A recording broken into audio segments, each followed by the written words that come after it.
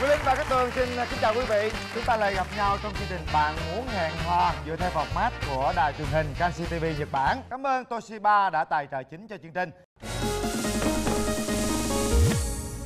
Các bạn trẻ đang muốn tìm một nửa, hãy đến với bạn muốn hẹn hò và nhận được những giải thưởng quý giá của Toshiba khi tham gia chương trình. Không căn cứ vào kết quả các bạn có thành đôi hay không, chỉ cần các bạn tham gia chương trình, các bạn sẽ có cơ hội quay bánh xe may mắn để trúng một trong bốn giải thưởng đến từ Toshiba. Ngày hôm nay chắc chắn rằng quý vị cũng đang chờ đợi một cái điều gì đó thật thú vị và thật ấn tượng trong chương trình. Chúng ta hãy đến với cặp đôi đầu tiên của chương trình ngày hôm nay. Hạ mang xuống. Em muốn cái đối tượng của em là người như thế nào? không cần đẹp mà cũng không cần xấu chỉ cần là men là được rồi. Men như bên đó không có men rồi đó. Và bây giờ mời bạn nữ đầu tiên của chương trình ngày hôm nay bước ra sân khấu. Xin mời bạn. Wow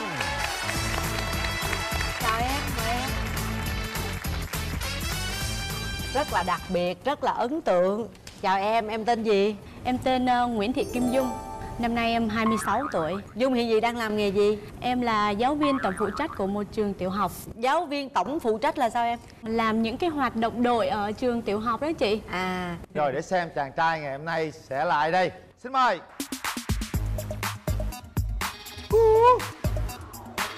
Gì vậy?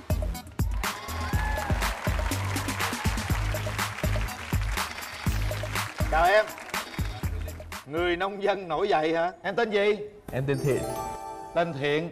Em làm công nhân ở đâu? Là quay phim ạ. Hả?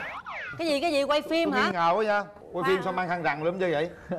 À, Đúng em rồi, anh mấy nhà quay à, phim mưa mang khăn. à, Con đã lớn khôn về. Ủa thiệt á hả? Quay phim ngày nào cũng ngắm nhìn người đẹp hết trơn á. Quay người mẫu, quay hoa hậu, quay diễn viên. Toàn là người đẹp không? Làm gì có chuyện tới đây là tìm người yêu Thường quay những người nào nổi tiếng nào nói chứ coi. Nhiều quá nhớ không nổi anh ơi. Nhiều quá hả? Có quay chị Cát Tường lần nào chưa? Tại Cát Tường không có nằm trong chín người đẹp. Trời ơi, trời ơi, trời ơi Chết chưa Được rồi, hãy đợi đấy nha cưng Hỏi nha. làm gì để người ta nói chi vậy? Em, em phải trả thù giùm chị nha em Em thấy chưa giờ thấy mạt sát phụ nữ Nhất là một phụ nữ đẹp như chị mà. Chưa chân bị chê là thấy chưa? Giờ em à, em có thể tự giới thiệu về bản thân mình. Em cũng ờ, vui vẻ hòa đồng với mọi người. Nhưng mà thường á thì ờ, hơi mạnh mẽ một tí xíu. Mạnh mẽ là sao? em không có được dịu dàng như những cô gái bình thường. Chị thấy là chị biết rồi. Tức là sao không có nữa? dịu dàng nổi loạn đúng không? Em có thể nổi loạn làm gì đâu Em nói chị nghe thử ví dụ như là những cái công việc ở trong nhà con trai mà có thể làm được thì em cũng có thể làm được. Ủa, cái đó bình thường đâu có gì đâu nổi loạn. Nhưng mà em làm giỏi hơn con trai đó anh.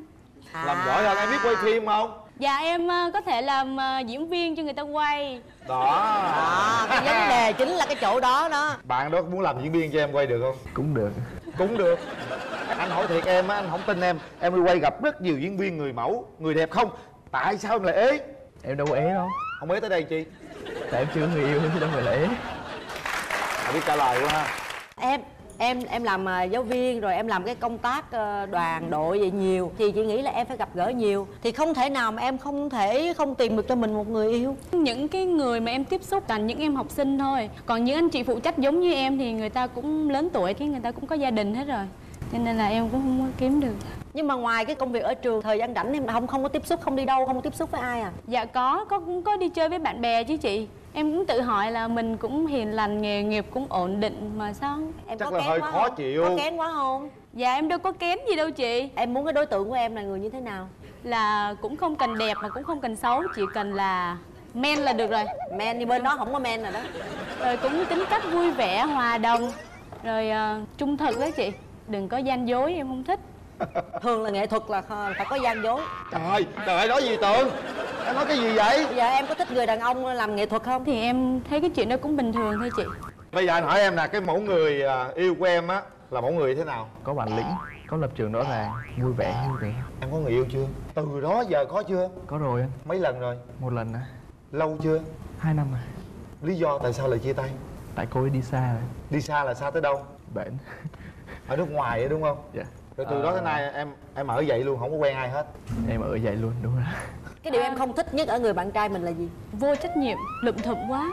Rượm thượm là râu tóc bồm xồm hay quần áo hay là cái gì? Dạ tất cả luôn đó chị. Ví dụ như là con trai thì đầu tóc thì phải để ngắn. Em cũng không thích để râu. Nhưng mà nếu mà Bên đây có râu, không có râu đâu đẹp mà á để. thì để cũng được. Ủa râu râu đẹp là râu sao mà râu sao là râu không đẹp? Râu giống anh Quỳnh Linh á. Là đẹp hay không đẹp? Đẹp. À râu anh huyền linh là đẹp. Nay huyền linh lên hương quá nha. Quần áo nữa thì ờ, gọn gàng. Đi đâu á thì mình mặc đồ phù hợp với ờ, với cái, cái cái mục đích mà mình đến á. Đây bình thường em mặc cái gì hả? Bình thường em mặc vậy đó.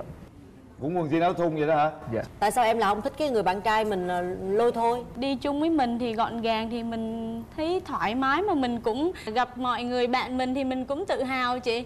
Nếu trường hợp bây giờ cái anh bên đó đó Dạ. em kết rồi đó mà bây giờ lượm thượm tóc tai thì bê bối. Mà bây giờ em biểu em tút lại mà người ta không chịu thì bây giờ là bỏ hay là chấp nhận? Em nghĩ là có góp ý như vậy mà người ta vẫn không thay đổi. Người ta nghệ sĩ.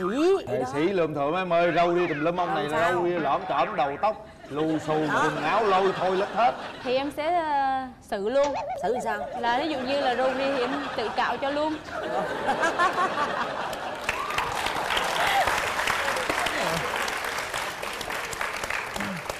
chết rồi.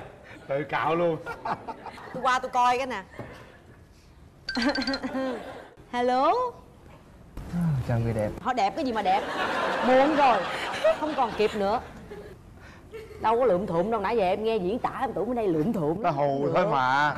Đâu có râu đâu mà cạo. Nó qua cạo đâu ông á. Được rồi. Phiền quá. Xin chào cô giáo phối hợp không? Thấy ấn tượng không? Học màu tím. Gì ông bị mù mắt ông bị mù mà không linh? Màu xanh. Anh thích nó màu tím kệ anh. Màu xanh. Ủa mỗi người có quyền cảm nghĩ của mình về cái màu đó chứ. Ờ thôi màu tím. Quần này màu gì? Màu vàng. Ờ vậy đi. Màu tím và màu vàng. Rất là dễ thương. Bây giờ em nghĩ là tới thời khắc cho đôi trẻ gặp nhau đi. Kéo màn lên gặp gỡ và trao đổi với nhau. Chân dung anh này hai phút bắt đầu. Chào cô giáo. Chào bạn. Từ này đến giờ nói chuyện với bạn mà chưa có biết bạn bao nhiêu tuổi. Mình 27 tuổi. Bạn quay phim à vậy bạn có chụp hình không? Cũng biết. Mình ờ, rất thích được chụp hình đó. Mình thì không thích đi chụp hình lắm.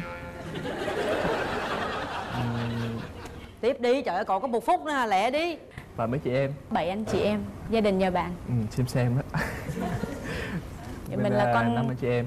bạn là con thứ mấy trong gia đình? Mình thứ tư. Mình thứ út. Út không có đâu có quan trọng đi bây hỏi cái tình yêu đi cái gì vậy? Mình năng động mình tấn công luôn đi cưng. Chưa thấy ông quay phim nào ông chậm vô này chứ phạm như ngồi trước người đẹp rung mà, mắc cỡ hay sao? Nhanh Rung lên nha. em. hả? Rung lắm. Tôi thấy nãy chặt chém tôi lắm mà đâu có rung gì đâu. Chủ động đi. Lấy nét lấy nét bạn quan điểm như thế nào về tình yêu? Cần có sự chung thủy. Nếu mà đi đến được ờ, kết quả cuối cùng á, thì mới bắt đầu yêu còn không thì thôi. Mình cũng giống như bạn vậy đó. Cũng cần sự chung thủy và rõ ràng. Không có giống mình phải có quan điểm của mình chứ. Cái quan điểm đúng nó giống giống nhau vậy ta hỏi gia đình thì cũng là đời xem. Giờ ta hỏi tình yêu nó cũng giống giống. Không có sáng tạo khung hình này không có sáng tạo. Nhanh lên còn có 30 giây. Nhìn thẳng vô mắt nhau nói chuyện kìa đứa nhìn cái tường đứa nhìn anh hết giờ.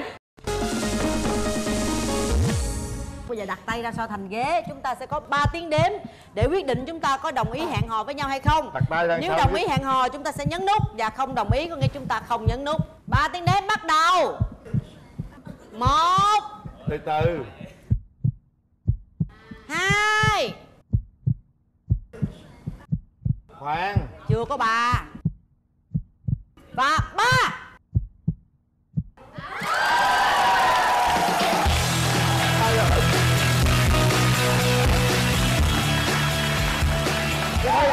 Tôi thấy, bạn nữ quay mặt lại rất là hạnh phúc rồi.